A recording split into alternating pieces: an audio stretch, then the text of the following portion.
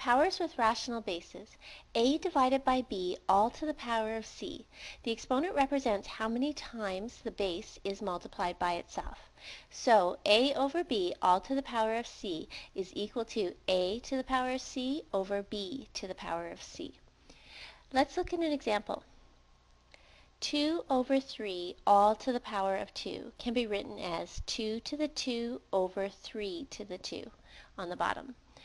2 to the 2 on the top is the same as writing 2 times 2, which equals 4 in the numerator, and 3 to the power of 2 in the denominator is equal to 3 times 3, which equals 9.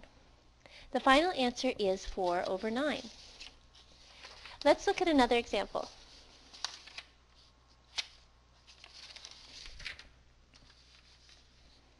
Evaluate. 2 over 5 all to the power of 3 equals 2 to the power of 3 over 5 to the power of 3.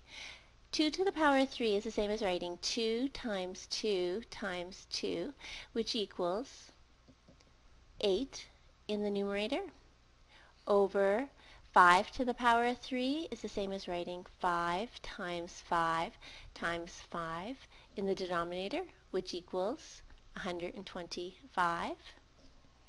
So your final answer is 8 over 125.